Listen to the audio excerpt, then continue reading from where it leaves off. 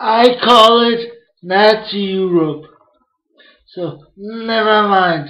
Take care of yourself, guys. Goodbye.